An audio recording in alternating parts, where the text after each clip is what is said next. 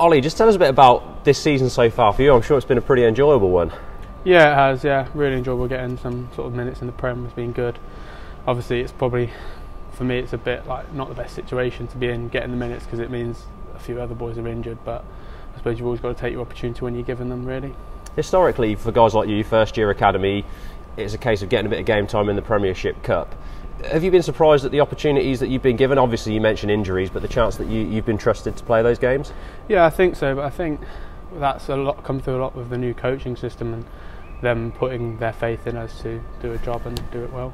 took you 15 seconds to score in your Premiership debut. What was going through your head when Luther made that break? Oh, at first, I th- wow, thought, thought the pass was forward first. And ref didn't blow up, so I was like, right, we're, we're okay so far. And as I dived in, I thought my feet were out, but yeah, it was a bit, surreal, really. You've been around this club since you were a young boy, obviously. Uh, how nice is it to get out on that pitch? You mentioned the crowd and to feel that buzz because you played sevens here. It's and you played Wanderers. Is it another step up? Yeah, it's, it's completely different. You, it's almost you can't hear what everyone's saying on the pitch. It's that loud sometimes. It's it's just a whole other whole other level of noise compared to sevens.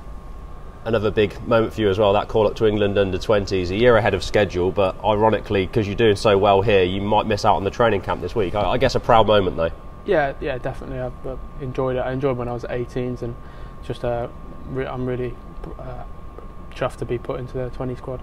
Tell us about your your time at the club so far. Who's been a real help to you? Have you, have you had a mentor? Is, is there mentors in place, or is it just a case yeah, of I've coaching wise, Sam Vesty and Dicko both both great. Going to them with clips, they'll help you out with whatever you want. Players wise, we've got all, all the back three are really helpful. TC, Andrew Kellaway, Big T, all the boys. They'll just if you need a hand with something, they'll just give you their advice and help you.